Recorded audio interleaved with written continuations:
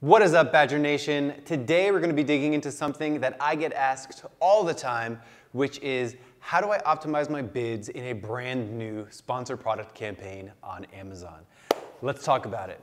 Uh, now, really, the crux of this entire thing revolves around trying to find out the smallest bid that you need in order to get the most information as possible. So, what does that actually look like? We're going to compare two different strategies, one called fast and sloppy, and the other one called the inch up method. Now, the strategy that I prefer by far is the inch up method, which we're going to talk about in just a couple seconds. So, let's talk about fast and sloppy. Um, now, the mindset of someone who's launching a new keyword on Amazon is thinking, how much do I have to bid here? Should I be bidding a dollar, two dollars, three dollars, ten cents? where do I bid and how do I get information to determine if this is going to be a good keyword or a bad keyword? We don't really know the answer. We need to pay for data. So fast and sloppy.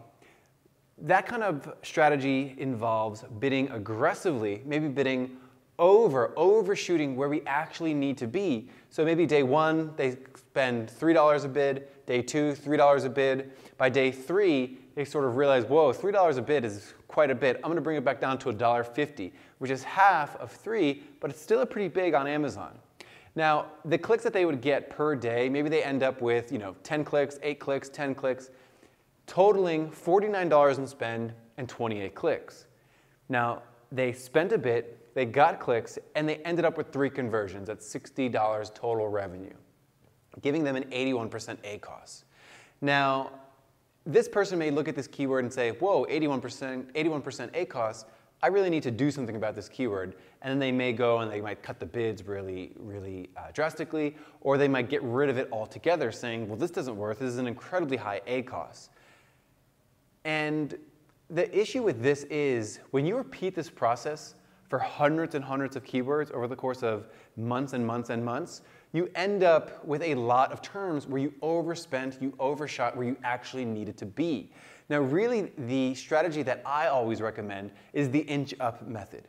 And it, we thought a lot about this when we designed the bids by Badger, the bid optimizer inside Ad Badger.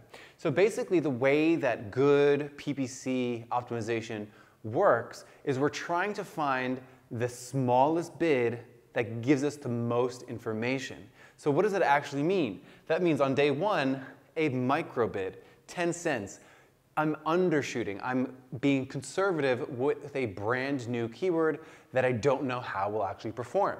So day one, 10 cents, no clicks. Day two, 20 cents, no clicks. Day three, 30 cents, one click. Day four, 40 cents, three clicks, so on and so forth. And I'm slowly but surely inching up my bid 10 cents or so every single day.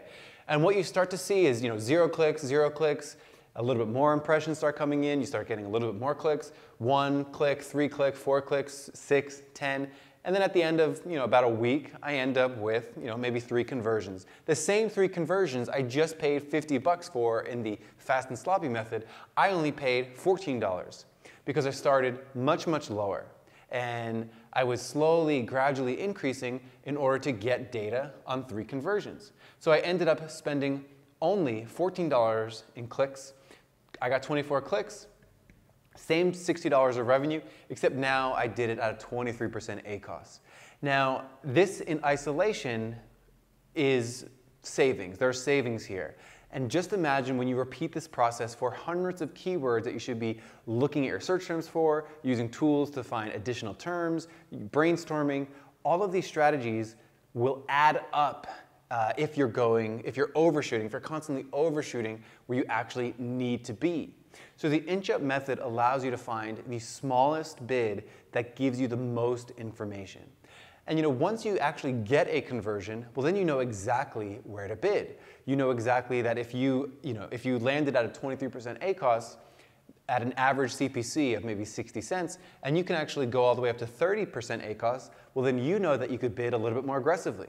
If you overshot it and maybe you landed at maybe a 35% ACOS and you wanted to be at a 30, that means you know you can inch it back down and land exactly where you need to be.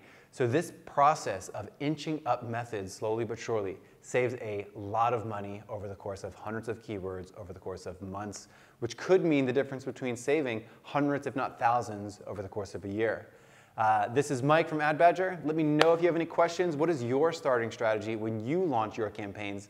And if you have tried something like the fast and sloppy or maybe the inch up method for a new automatic auto campaign or a manual new keyword, love to hear what you have had as a result. This is Mike. Talk to you soon.